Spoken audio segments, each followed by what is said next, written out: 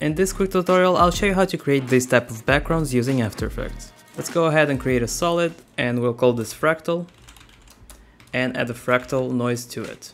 Let's set the noise type to spline and we'll up the contrast to 300 and the brightness to minus 40. Go into transform and unselect uniform scaling and let's play around with the settings until we stretch it out about so. We can up the complexity a bit and maybe adjust the brightness to minus 50.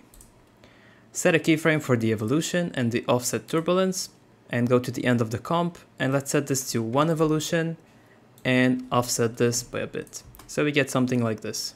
Now let's create another solid and we'll call this gradient and we'll add gradient ramp to it. Let's swap the colors and maybe adjust some of the colors here like so.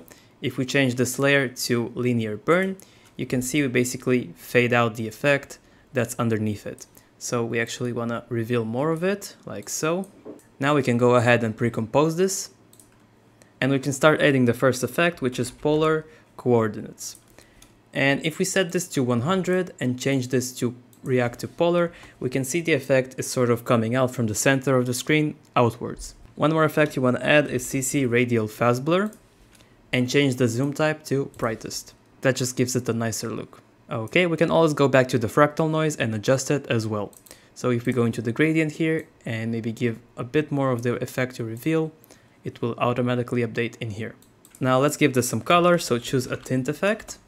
And we're gonna make this bluish. And I'm gonna duplicate it and make it orange. Sort of ice and fire type look. And we'll rotate this layer 180 degrees and set them both to screen so we just created two of the same layer with different colors but rotated 180 degrees alright let's pre-compose this as well and we'll call this main and here's where we're gonna start to add the twisting effects. So first off, let's add the effect called twirl, which is our main effect for this. And set the twirl radius to 25. And we can go ahead and start twirling it. And as you can see, it's giving this nice twirly gradient look here, which is pretty smooth. And we can scale up the layer to maybe 130. Okay, and this already looks pretty cool, but there's a few more effects you want to add. So the first one, let's go ahead and add CC lens and we can adjust some of these settings just to give this a nicer look here and just play around with some of these settings. And another effect is optic compensation. So if we set the reverse lens distortion here and give it some field of view, we get even a nicer depth type of a look here, which looks awesome for the background. And lastly, let's go ahead and add a glow.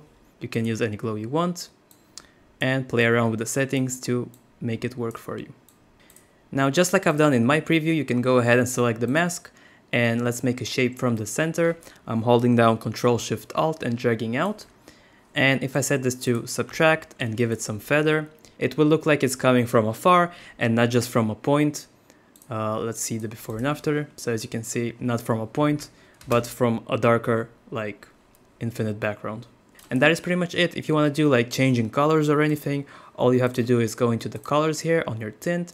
And if we set a keyframe for the orange one here and move to the end of the composition, we can change this to green. And if we play this back, you can see starting from orange, going to yellow, and slowly turning green. Okay, pretty awesome and easy effect. This is how you create this type of abstract background. Thanks for watching, and I'll see you in the next one.